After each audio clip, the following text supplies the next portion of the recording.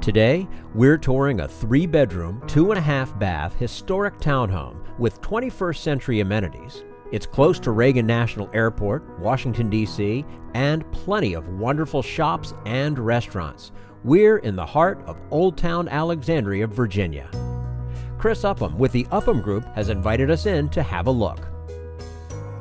As you walk in the front door, you enter the living room with beautiful hardwood floors, which you'll find throughout most of the home. From the living room, you step up into the dining room, which has one of the three wood burning fireplaces in the home.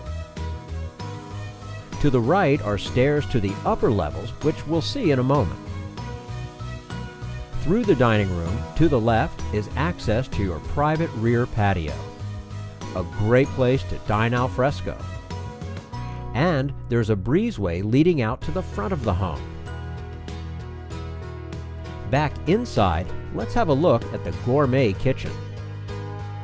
With tile floor, granite counters, gas range, three door refrigerator freezer, dishwasher, and lots of cabinet space. There's also a half bath on this level. Now, let's head upstairs and see the upper levels. At the top of the stairs to the left is the first bedroom, with chair rail molding, two large windows bringing in lots of natural light, and a wood burning fireplace with mantel. Across the hall is the second bedroom, which could also be set up as an office.